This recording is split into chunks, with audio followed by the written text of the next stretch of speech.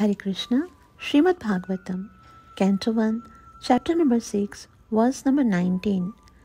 दिदृक्षुस्तदहं भूयः प्रणिधाय मनोहृदि वीक्षमाणोऽपि न पश्यम् अवितृप्त इवातुरः दिदृक्षुस्तदहं भूयः प्रणिधाय मनोहृदि वीक्षमाणोऽपि न पश्यम् अवितृप्त इवातुरः दिदृक्षुस्तदहं भूयः प्रणिधाय मनोहृदि वीक्षमाणोऽपि न पश्यम् अवितृप्त इवातुरः।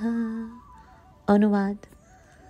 मैं भगवान के उस दिव्य रूप को पुनः देखना चाहा, लेकिन अपने हृदय में एकाग्र होकर उस रूप का दर्शन करने के सारे प्रयासों के बावजूद मैं उन्हें ना देख सका।